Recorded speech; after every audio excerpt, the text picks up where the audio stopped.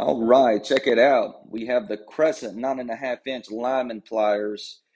Got these today at the Home Depot. They got them on sale for about 15 bucks plus tax.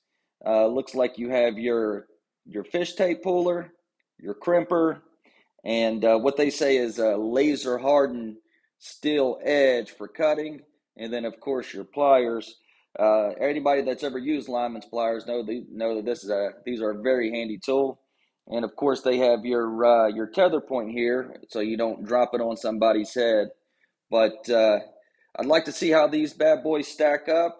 They have a uh, the pivot point here is very close to the edge, which makes cutting um, much easier.